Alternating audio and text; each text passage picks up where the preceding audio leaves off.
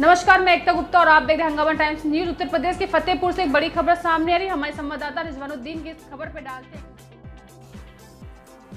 उत्तर प्रदेश के फतेहपुर से एक बड़ी खबर सामने आ रही, जहाँ पर नाइट कर्फ्यू का उल्लंघन कर बार बालाओं के लगा रहे हैं ठुमके।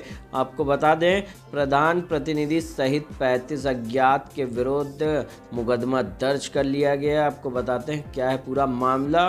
क्षेत्र के मदद अलीपुर, मजरे रामपुर में शनिवार रात नाइट कर्फ्यू का उल्लंघन कर बार बालाओं के ठुमके लगाने वाले प्रधान प्रतिनिधि सहित पैंतीस अज्ञात पर पुलिस ने मुकदमा दर्ज किया। कोरोना की तीसरी लहर के बढ़ते मामलों को देखते हुए शासन ने पूरे यूपी में रात्रि आठ बजे से सुबह पाँच बजे तक नाइट कर्फ्यू लगाने का आदेश दिया है। लेकिन प्रधान प्रतिनिधि को तो देखना है, बार बालाओं का डांस और उनसे करना है उल्लंघन। आइए डालते हैं रिजवानुद्दीन की एक रिपोर्ट पर नज़र।